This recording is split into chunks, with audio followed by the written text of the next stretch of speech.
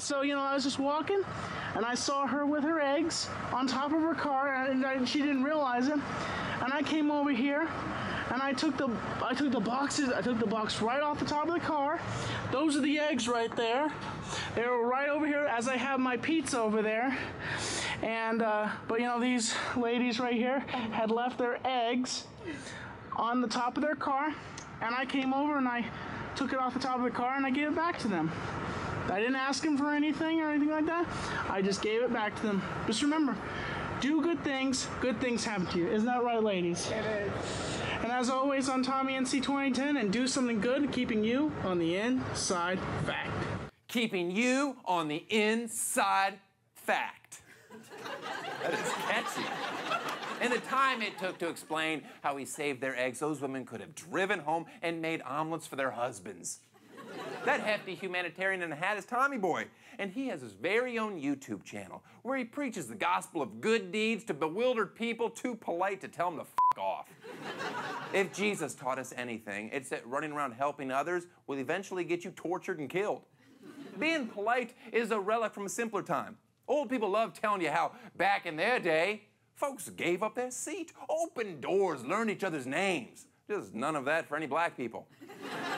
Acting like a gentleman is only a front for getting a good look at a woman's backside. Ooh. the best deeds are done with money, not love. What do you think a kid with leukemia would rather have? The scarf you knitted them or the cure that I paid for? These days, being kind to strangers is just plain creepy, especially if you're filming it with a selfie stick. But Tommy Boy's heart is in the right place. That's why I flew him to Hollywood, where the only nice person in town is the helpful Honda guy. And he's just a bitter, soulless actor who banged my manager and never called her back for this week's celebrity profile.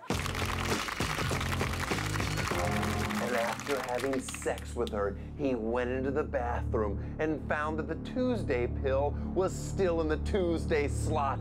And not just this Tuesday, every Tuesday for the last three weeks. Hi, Daniel.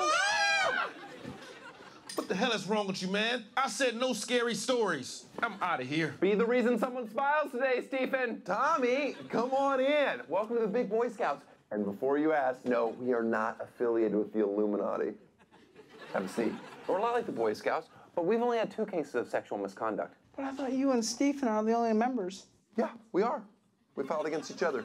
It's your typical he said, he said. Mm. First of all, you look amazing. Thank you. I really appreciate that. Put a lot of work into how you dress? Yes, I do. I, uh, you know, I look into my closet and I just find a look and I go with it. Well, this is my new hat. It's a fedora. You like a fedora or a traditional trilby? What's a trilby? I don't know. Now, Tosh, let me help you here. Okay. There's uh, there's a fedora and then there's a Homburg. Now, what you're wearing typically that is a fedora, Thank you. and uh, typically it's obviously have the bill down on a fedora. Let me talk about the mustache. Yes. When did you decide to go with a mustache? It's a very classic look. I didn't decide to do it. It just started growing in, and I always wanted to have a mustache, so I just went with the look of the mustache. Those are the eggs right there. First of all, why did this woman need so many eggs? Picture this.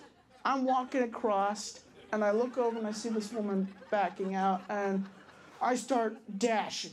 In those shoes, because those are dress shoes. Yes, I was running in dress shoes. Meanwhile, this woman is her eyes were just, why is this man running at me? Uh huh. I get to the top of her car, I grab the eggs, I walk over, I say, ma'am, here are your eggs. Oh my goodness. Then I stopped for a second. I said, ma'am, can I shoot a video with you real quickly? And she said, sure. And by quickly, you mean seven or eight minutes. Yeah. I, I guess in the video I tried not to pat myself on the back so much, but I guess it made it look like I was doing it. Yes, a little bit, Tommy. How many of these good deeds are just court ordered? None of them. Okay. Do you think she could have made it all the way home with the eggs on the roof? Maybe. That's how I lost my last girlfriend. I wish you were there. Could have told me she was up there.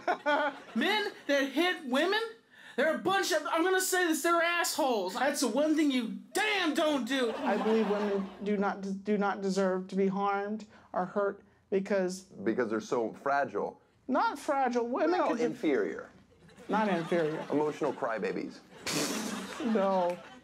The main thing that I, I do with all my videos is positivity. What the positive aspect is, is you can make it how you want to make it. And if you can make it anybody can make it. If I can make it, anybody can make it. I don't think that's true because I feel like I have a gift. I feel just because I can make it, most people cannot. If you have a gift, you know, okay, you have a gift. I have a gift.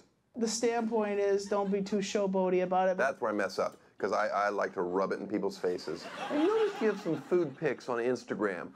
Are you a foodie? I tweet before I eat. What's a typical meal that you would take a photo of? Something that's interesting, something that's out there. I have a gift for you, yes. You have a gift? Yes, I do. This is a needle felt figure, and I made it myself.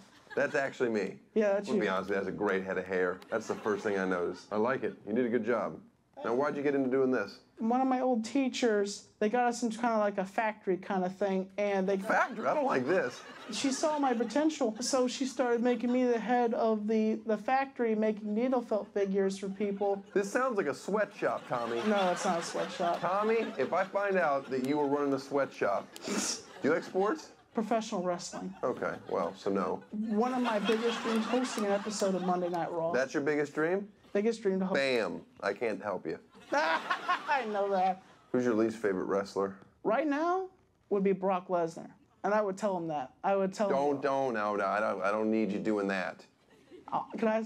Uh, Brock Lesnar, you're Oh, a no. mercenary. Oh, here we go. I, I can't promise you that you're gonna get home safe. I'm not afraid of Lesnar. Tommy, when I saw your videos, I knew you were the perfect candidate to join my big boy scouts. So let's get out there and do some good deeds. Let's do some good deeds. All right, but first, I need you to help me take down this tent so my cleaning lady doesn't think I'm a crazy person. Yeah, get out of here. Nobody wants you in this neighborhood. Oh, they're gonna appreciate this.